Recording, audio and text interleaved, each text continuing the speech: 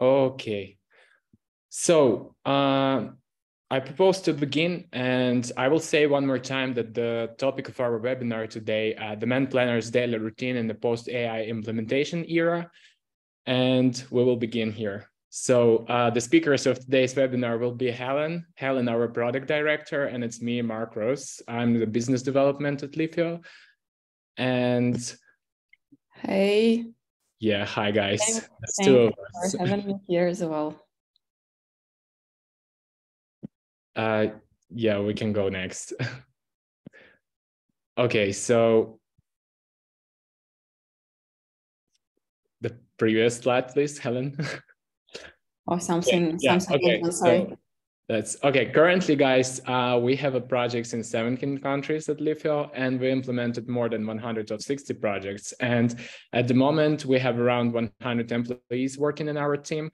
And regarding our customers the few words. Uh, so we are actually working with different type of retailers with different verticals and our background is in grocery retail health and beauty convenience stores supermarkets but we also like had a lot of experience working with electronics oil and gas diy and retailers as well so uh, regarding our solutions, the Leafio is a platform itself that helps us to automate the different areas of supply chain with the help of AI and machine learning. And the platform consists itself of four modules. So the first module in here is our inventory optimization. This module helps us to automate the replenishment processes, both like at the level of your stores and central warehouses. And this module also consists like deep, powerful BI module in order to help your demand planners to identify some bottlenecks. Our promotion management is the solution that intended to manage all of your promotion activities that you have and forecast sales for the promotion periods. Our shelf efficiency uh, helps us to cover end-to-end merchandising processes, uh, starting like from the planogram creation to its execution and analysis. And this helps us uh, to create the floor plan, first of all, put the equipment on it, and then create the detailed planogram. And after that, control and execute the processes like with the help of our mobile application. And this module has a deep and powerful analytical block as well. And our new uh, recently introduced solution, it's our assortment performance. That is solution that allows you to manage the assortment, create the assortment metrics and introduce and display the new products, aggregate stores by format automatically and tracks analytic and so on. So there is a four current solution at our portfolios. So I will give the word to Helen here. Yeah, and uh, uh, just regarding uh, the solutions, they are linked with the help of the platform.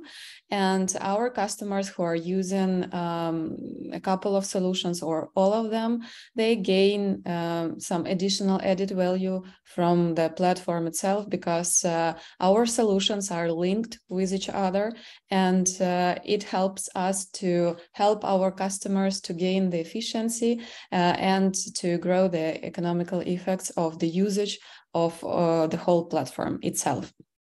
Okay, so uh, now we will, uh, before we will start the core topic of uh, our today's webinar, just a couple of uh, organizational points.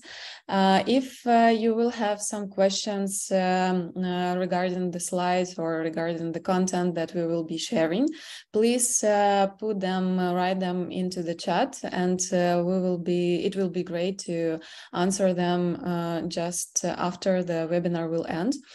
Uh, and um, in case of any technical um, issues or if something will be wrong with the connection, uh, please uh, try to um, link to Zoom for once more time. And if it doesn't help, please let us know that something is wrong uh, for us to be sure that everything is heard and seen. Okay. Uh, so uh, to start with our main topic. So today we are going to talk about the um, working day of the demand planner who is responsible for the purchasing function and for the replenishment function as well. Uh, and to before uh, to covering this topic, uh, we wanted to um, uh, start uh, our conversation with uh, just a, a, quick reminder um, uh, regarding the way of uh, the inventory management processes development during the last uh, last decades. Uh, so uh, we have done a very long way with our customers in process of improving the supply chain starting from 2010s and at that time it was quite usual to see the decentralized purchasing function um, and replenishment function as well. So what does it mean? It means that uh, uh, on the level of each store, somebody like the store manager uh, was making the purchase orders to suppliers or to the central warehouse, uh, and uh, everything was like uh, fully decentralized. They, in some cases, they had some tools, and in some cases, they uh, they doesn't, uh, and uh, they don't. And it was like a way uh, that um, had some plenty of mistakes uh, just because of the human factor.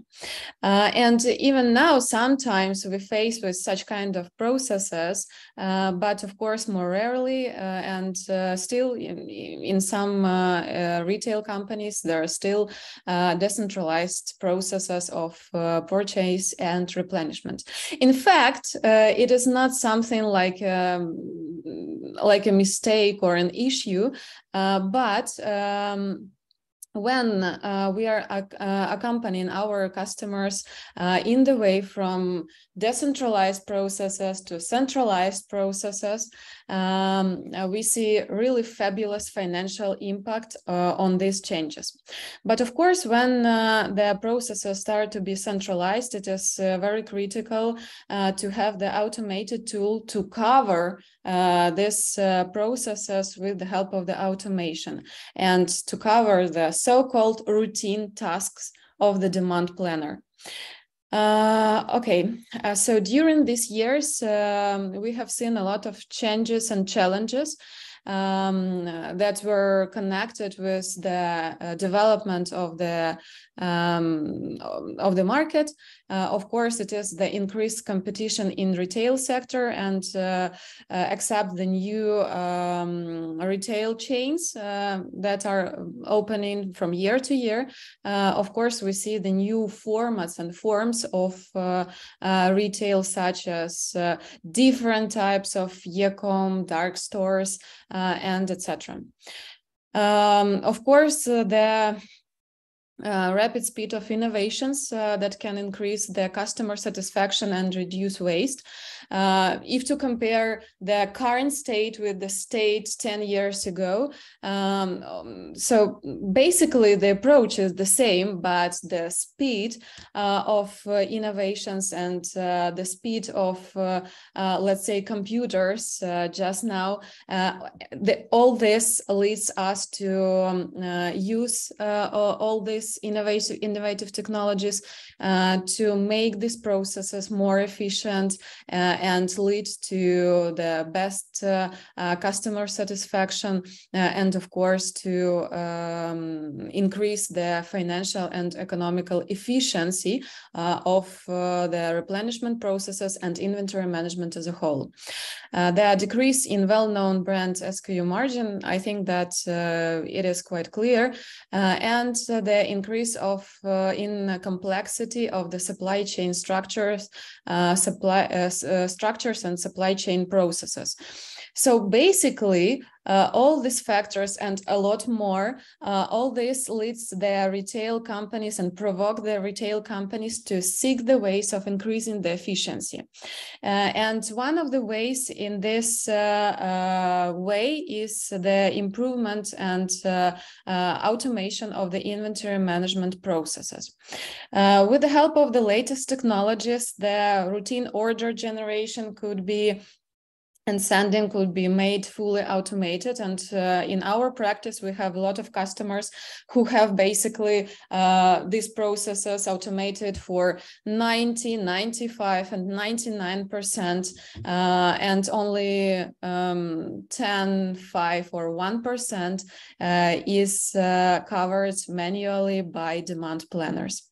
Uh, but of course not only order generation and sending a lot of other processes could be covered uh, with the help of the automation as well. Mm, it is like uh, such kind of an uh, task like order optimization, like prioritizing of orders in case of deficits, promotional forecasting, seasonality calculation, taking into account some vendor vacations, preparations to some holidays, and etc. So if talking about this process as a whole, it is rather, it is rather complex process uh, that really consists of a lot of different angles and a lot of different participants. Uh, and the automation of these processes can lead to a significant increase in efficiency. Uh, and uh, uh, so today uh, we will switch, just now we will switch to um, uh, our solution uh, and uh, we'll try to uh, go through the everyday routine tasks of the demand planner. We call this person who's responsible for purchase order and replenishment a demand planner, but of course, um, uh, this person could be uh, named in just another way. It could be structured uh, in uh, terms of different departments, uh, but still, um, it will be like from the angle of this person who is responsible for these processes. Uh, if you are interested in our experience in terms of the organizational structure of the inventory management we can share uh, our uh, article regarding this this topic um, just after the webinar. And starting from this point, I will give a word to Mark, and he will start this. Thank yeah. you, Helen. So uh, Currently, guys, you can see the state of the system like at the beginning of the manager's working day. It's our lovely dashboard, and this dashboard's always letting you know the issues that are any issues that are currently ongoing. And for this like kind of uh, webinar today, we decided to do this kind of like a role play. So my name will be Rick, and I'm a fictional character for this webinar, and I just want to clarify it. And in here, I'm a demand planner in Cherries and Good Wine Company, and the majority of orders have been already sent to the suppliers at the start of the working day. And before uh, implementing the Leafio inventory optimization system, I was running to my workplace to not face those nervous suppliers. I hope you know what I mean. I had a limited time when I needed to send in orders before because I was doing a halfway uh, automatically and a halfway manually. That was the reason why the suppliers were nervous. And currently now i'm i came to work and made myself like a cup of coffee uh, but i'm absolutely sure that all of my orders of which i'm responsible or the vast majority of them uh, they have been already calculated for me and sent to the suppliers on this state um, uh, helen do you want to add words here uh, yes, so uh, I should uh, I should say that uh, during this webinar we are not going to cover the algorithms, features, uh, and models for calculating the demand forecasting and calculating the purchase orders. if this topic is relevant for you, please feel free to contact us. Uh, but but uh, of course uh, during this webinar we we will not cover this point but we would love to talk about this in person yeah thanks mark okay yeah going back to our dashboard guys uh, the orders have been actually sent but if I have a certain number of orders that did not like pass the optimization criteria or have any specific or extra long lead time, I had to deep dive into them and analyze them. Uh, and here, uh, it is possible uh, to change the number of orders if I have some information. And then like on this point, after we change and put a new quantity and set up like the reason why we, we did it, uh, on this point, the work with the orders for me ends today. So the simply like the way and everything has been already completed from this side. So uh, going back to our dashboards, I also paid attention to our new SKUs that have been introduced to the assortment. And usually they are worked out in the terms of determining the first order for the new SKUs automatically. And still, for some reason, they can be some SKUs, a uh, few of them, that need to get a look at it. So usually it's done automatically, but the system based on the cluster analysis and the similarity of this SKU with the existing SKUs. But this is also like automated process. And on this point, uh, I finish my regular task everyday routine connected with the orders and the new introduced SKUs. And I also have some indicators of our lost sales and overstocks, which are calculated on a daily basis in our case and compared to the same day of the last week. Uh, it's important like for me to see this trend and if this trend is deteriorating, I will go to analyze the reason. So we can uh, view SKUs here. And for example, um, I will take uh, our like 10 SKUs here and go through them step by step. And then I will need to get like uh, just a few seconds. And yeah, Helen, can you please open the graph? Okay, thanks. And we can see that he, here we have some accesses before we order something wrong a long time ago. And in this case, I will go to the category manager and say that I need to return this, this like SKUs to the supplier because I know that this suppliers accept the returns. So uh, in this case, I will do the same with our lost sales in the process of the continuous improvement of the supply chain. So the next part, guys, that I want to cover for you. So I will move on the strategic dashboard. And in here, I will analyze it on a weekly basis. Like, for example, today is a Monday, and today I need to understand like whether everything is fine with the key indicators for my site. It's worth like to paying attention to the fact that despite the level of our automation, there are still problems such as shortages, problem with suppliers, I would say like late deliveries, changes in trends, or a competitor's promotion currently, and many other factors that are poorly predictable but have a strong impact on our supply chain.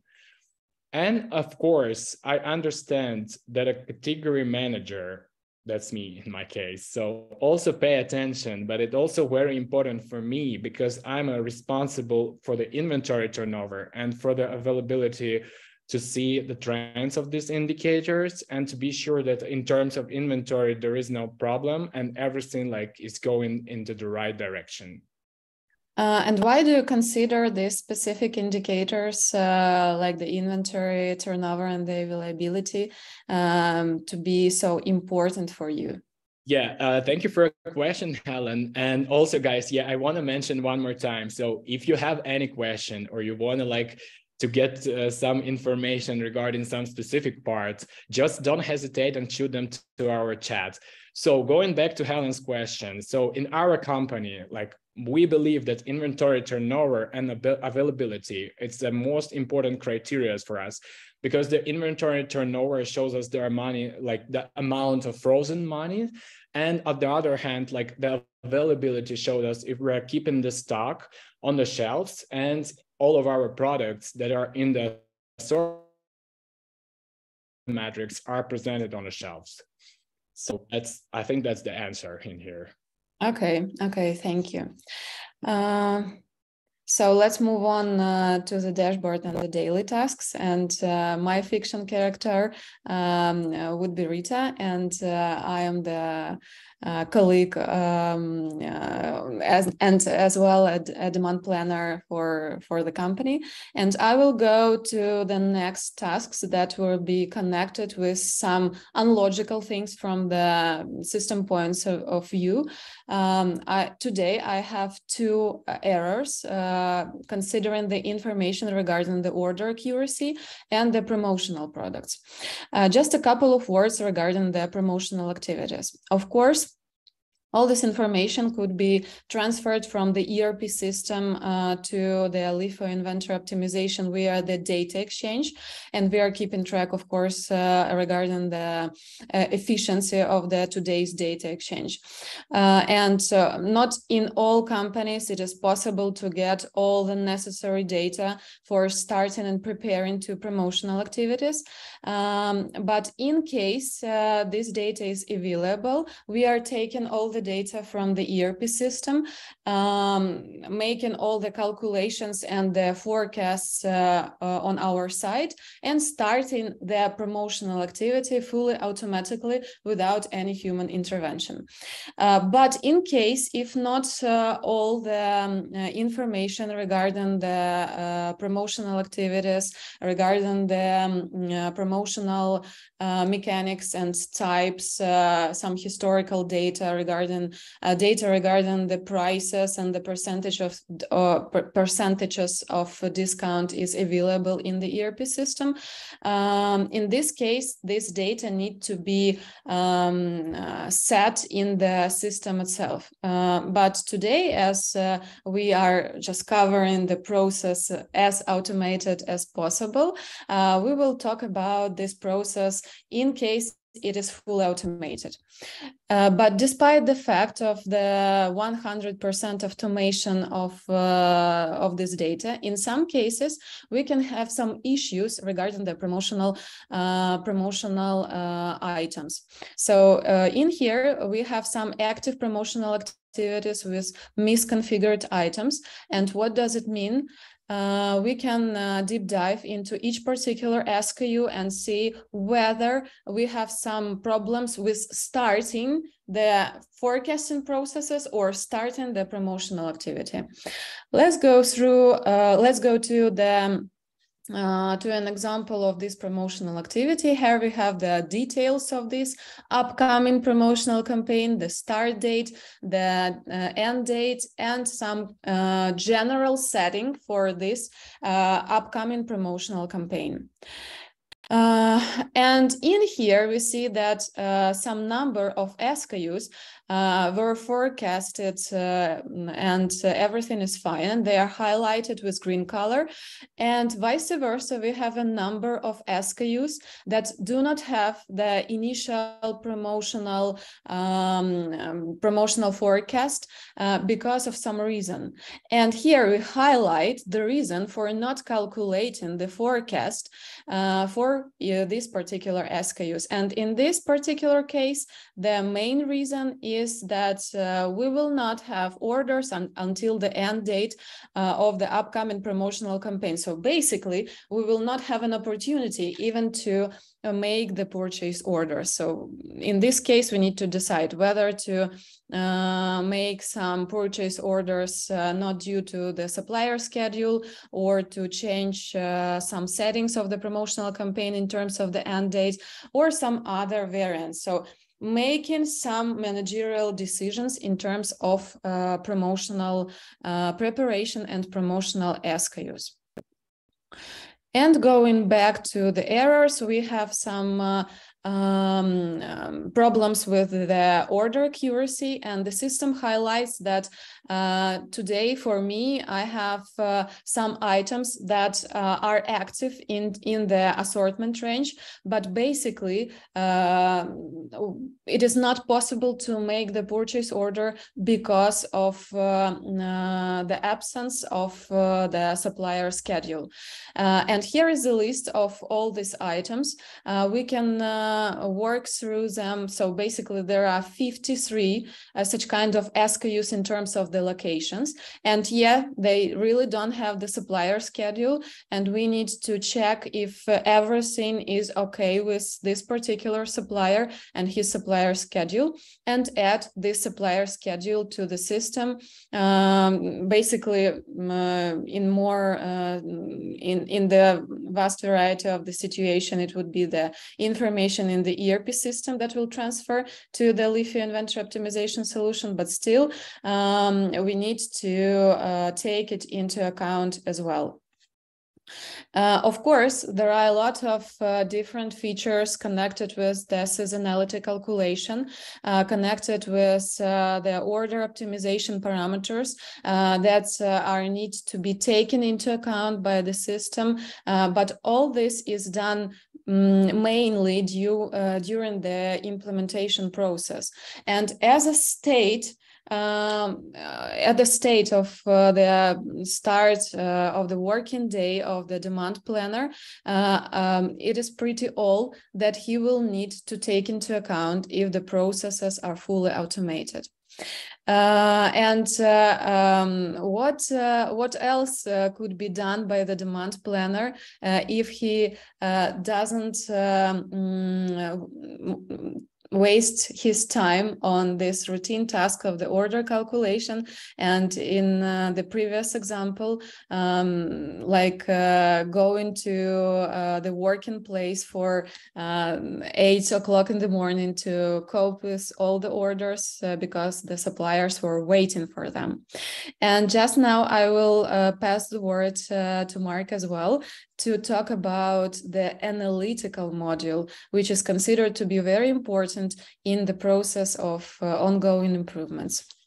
Yeah, thank you, Helen. So I will add here that with a high level of automation, still mistakes are happening in the supply chain. And this is like related to the reliability of the suppliers, all kind of spike of demands, all like trends, all your seasonal duties, and a lot can actually go wrong because it's a very unstable environment, guys. And therefore, it's very important for us to analyze like the different angles of our like supply chain. And now uh, we will show you how you can like very quickly analyze a negative trend. And we will start with our like-for-like -like analysis. So in this in this report, just give it a second. So we will see and comparison periods of time, and we can build a like for like in terms of like our months, quarters, weeks, and years as well. Like for example, we will build it in terms of months, and we will compare May and September. And what do we see here? So we see our most important like inventory management KPIs, like average stocks, our sales, our average overstocks, our lost sales, our turnover, our percentage of availability as well. So in our analysis, like we see that uh, we have some issues with our stocks and our stocks. And we have like uh, some issues with the lost sales as well. And we need to discover them and drill down more to find out the reason of this current problem. So uh, to find out more, uh, we will go to our next report uh, to lost sales reason. And let's give it a second. Okay, so for example, we want to investigate the reason of the most like of the lost sales. And that's why we are going to the specific report that Helen is already opened. That's lost sales for our three previous weeks and where the system like helped us to identify like each specific SKU with the lost sales during the previous week in terms of our like amount of money. So let's open the SKU, okay, apricot jumbo weights. And in this case, we see guys that for the previous week only, we lost almost $6,000. And it's the issues that uh, we understand it's the reason of the lost sales. So all the reasons of our like sales are grouped in this diagram and we see that the structure of the reasons for the lost sales and for more than 40% in our case of all cases in terms of our lost sales, we see that they occurred because of our external supplier didn't fulfill the orders that weren't sent like to him. So we need to understand more and we are choosing this reason and we can name uh, like visualization uh, we can change like set it up like based on supplier name and in terms of our suppliers. And we see that the most problematic supplier in our case is the supplier number 345. So uh, to analyze more, we will go to the suppliers report and definitely we will need to understand like uh, more regarding our supplier reliability. So uh, the next report will be like is connected to the suppliers. And there was like uh, the list of our suppliers before. And here we see that number supplier number three, four, five, uh, and also like we can investigate the indicators based on this supplier, like the indicators like the share of our purchase and sales, the share in our like currency of the company, the balances of turnover, the overstock and lost sales as well, and as well the trend of the suppliers reliability. And we see that yes, it's decreased a lot. And basically the category manager must contact with the supplier and ask him and understand why it happened and maybe like uh, make some other decisions either like to change the supplier or make some negotiations with supplier and so on. So guys uh, on this point yeah i will say that uh, it was just an example like how can we understand what the cause of our problem is but as well you can also analyze the inventory and we have like a function in the system that helps us to understand what to do in this point and we can return them to the supplier if agreed upon with the supplier before and we can do promo or we can do internal relocation and we have like a spe special mechanism where the system um, itself like will determine it for you and like what and where to move like those SKUs. And uh, as a Rick, like that fiction ca- fictional character, I have a like some hours schedule during the week of what analysis I, I do at what day. And it helps our company actually to earn more and our suppliers most of the time are very happy with the interaction with us and ask like what is the like what is the secret of our success is. So the, the secret is simple. It's Leafio inventory optimization. you know everything. So yeah, on this point, I will pass the word to Helen. That's uh, it from my side covering the reports. And guys, if you still have some questions or you want some like some more specification or details, just don't hesitate. We have a chat in here. Shoot us your questions and we will be able to answer to them. Thank you. Okay, thank you. Thank you, Rick, very much. Uh, and uh, just uh, to summarize uh, everything that was uh, said regarding the system functionality, of course, uh, the system covers all the all the replenishment processes and all the processes that are connected with the purchase orders throughout the retail chain and to the external suppliers to make these precise orders and uh, for the um, our customers and retail companies to rely on the system. Um, we are using the latest technologies uh, for making all the calculations and uh, basically ma making the most accurate demand forecasting. Uh, of course uh, during the 30 minutes we have covered only like very um, in, a, in a kind of a helicopter view how this process can look like. During the implementation process, uh, we are building these processes for each and every uh, company with each with this particular specifics, with um, uh, the data that is uh, uh, actually in the ERP system and understanding which data is absent and which data need to be collected additionally Mm, in uh, our solution as well.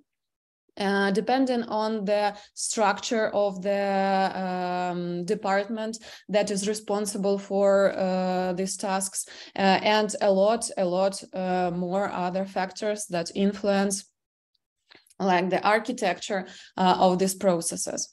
Um, but still, uh, as we have started, uh, all these processes could be automated and the percentage of this automation could be very high with the help of the technologies. But still, people are involved in these processes and still people are needed um, like to um, uh, go through the indicators, understanding the trends of the indicators uh, and understanding like the root cause of the problem uh, and uh, in the way of eliminating the root cause uh, of uh, problems in the supply chain, only in this case, it is possible like to improve the indicators in the long-term perspective. Just after the implementation, all our customers have these great results um, because uh, the processes mm, uh, were automated or they were automated previously and just now they are automated in a better manner with the help of the better algorithms and etc. Uh, but still, when uh, uh, our aim is a long-term partnerships uh, with our customers, that's why we are interested in the long-term perspective and the long-term improvement of these indicators.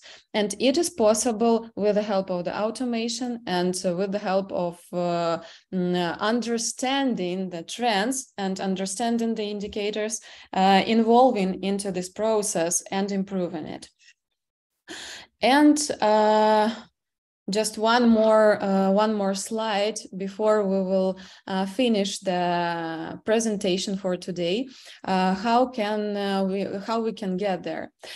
Uh, it is uh, obvious, but sometimes it is not obvious in the projects that uh, uh we definitely need to have very clear understanding of the goal before the beginning of uh, any kind of changes.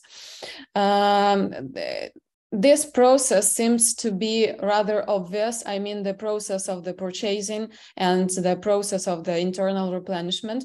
Uh, but uh, still, there are a lot of there is a lot of issues. There are a lot of issues in these processes uh, which need to be uh, um, worked with and uh, um, eliminated during the implementation process. And usually, this process takes a while and it is not done like during some couple of days so before starting it is very it is very crucial to understand the goal.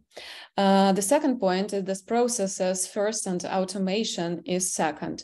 Um, before starting any kind of automation it is uh, uh, crucial to eliminate this house and uh, processes that have some issues. That's why first of all in all our projects we uh, tend to um, um, um, improve processes first of all and afterwards um, build this automation on the basement of correct processes.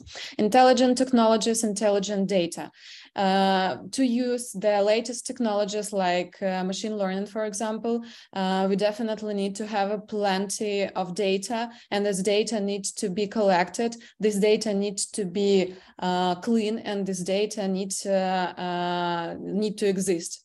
that's why in a lot of cases, even with customers with very high level of operational efficiency, we face uh, with the absence of the necessary data, especially for the long-term forecasting and for um, promotional forecasting. As during uh, the process of the promotional forecasting, a lot of factors influence and uh, are used uh, in the promotional forecasting. So uh, collecting the data and storing this data is a very tough task, but necessary to use the intelligent technologies. Uh, of course, reliable partners. Uh, um, so in each specific sphere, um, it is better to work with professionals. And as retailers are professionals in the retail sector, IT companies like ours can help retailers to improve their processes in terms of automation uh, as we are professionals in uh, IT technologies. Uh, and uh, of course, big changes, uh, big efforts. Uh, any project is a project and really needs to, mm, so you definitely need to be prepared for uh, given these efforts to make the all the necessary changes uh, in these processes. I think that it is pretty all. In case of any questions, please uh, type them into the chat or you can uh, contact us uh, and we will be happy to answer them in person. Yes, thank you. Thank you, guys. Uh, thank you, Helen. And yeah, sorry, I will specify one more time that in case like you have some questions unanswered, you can reach us out by those phone numbers or just send us an email and we are, we are like looking forward to respond to you so guys yeah thank you one more time for your time and It was nice to see you here. Thank you for joining our webinar. I hope it was like productive for you. And thank you, Helen, for hosting it with me. Yeah, thank you.